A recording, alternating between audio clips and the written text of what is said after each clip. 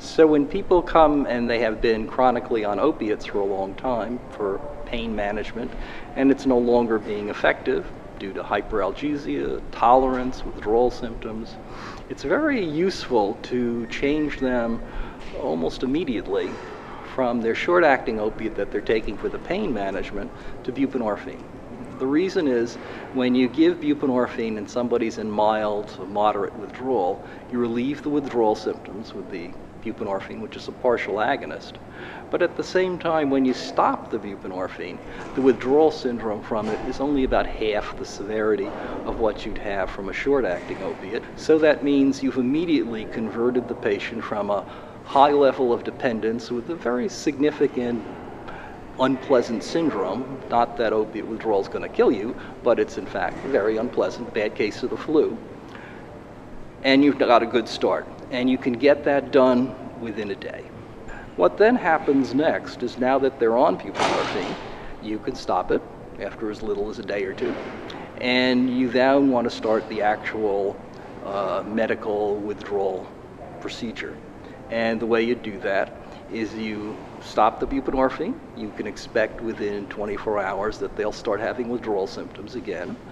But before they start having them, you would be giving them lofexidine. Now, lofexidine is again an alpha 2 adrenergic agonist. It relieves opiate withdrawal symptoms. You need to give it four times a day but the dosage you give is fixed. So it's a set dosage that you give that dosage for over the five to seven days of the withdrawal syndrome, although we're now going to talk about how you can make that withdrawal syndrome shorter. And the way you make the withdrawal syndrome shorter is now that you've given them a day of lofexidine and they've now come off the buprenorphine, you could start giving them a very low dose of naltrexone. Now, naltrexone is ordinarily given at 50 milligrams a day as a way to block other opiates and keep you opiate free. However, what you're going to do is give it at a low dose. Typical low dose would be 5 milligrams. Now, 5 milligrams is 10% of a 50 milligram pill, and there's various ways to get to that dose. Compounding pharmacy might be one way trying to cut the pill up into a tenth of a pill is generally fairly difficult.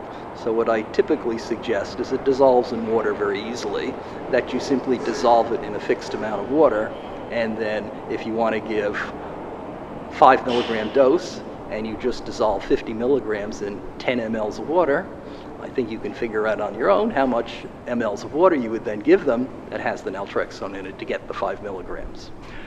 You're then going to be continuing that lofexidine for the next two or three days, and as long as five to seven days if you want. Uh, but the next day, after the five milligrams, you're going to give a bigger dose of naltrexone. And that bigger dose could typically be 10 to 15 milligrams. Uh, usually it would be 10. The, now, the third day, you would give them 15 to 25 milligrams of naltrexone. 25 milligrams of naltrexone is equivalent to 50 milligrams of naltrexone in terms of complete blockade of opiate receptors. So at that point, they are effectively opiate free. And what the naltrexone has done for you, that's greatly reduced the duration of withdrawal, is it acts to bring normal opiate receptors to the surface of the cell which is something that otherwise will take several days to occur, to sometimes a week and a half. But naltrexone will have that process, that receptor trafficking process, happen within typically 30 minutes or so. So you'll get all of these new, very sensitive receptors on the surface of the cell, so beta endorphin and other endogenous neurotransmitters that relieve withdrawal and make you feel better. So they're now able to be effective because you, instead of desensitized receptors, you've got active, new, very much active receptors for the disorder. We would usually switch them over to the buprenorphine on a Thursday, and then uh, or Wednesday sometimes, depending upon what, because they're while they're on buprenorphine, they're not having any withdrawal, and they're typically feeling fine. Um, and then when we stop the buprenorphine, which could either be um, Friday or, yeah, Friday would usually be the day we'd stop it. And on that day, we are giving them uh, the lofexidine. We've actually often started the lofexidine while still on the buprenorphine. And then we'll start giving the naltrexone. If we want to accelerate it to three days, what we're usually doing is The day that they're getting the buprenorphine, they're also getting some lofexidine on that day. So that would be, say, a Friday.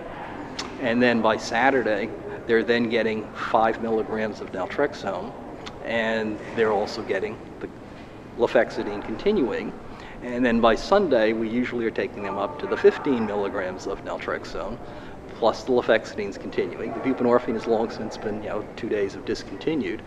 And, and when Monday comes, we'll continue the lofexidine out for another two to three days, but they're getting the 25 milligrams of oral naltrexone. At that point, if they, you know, no withdrawal symptoms or anything, we could give them the injection of naltrexone, which will last a month. The second day that they get the naltrexone is the day that they start to notice the naltrexone and that they'll feel some withdrawal symptoms. Sometimes it's the first day, and those are the days in which we usually will give them some benzodiazepine in addition to the lofexidine.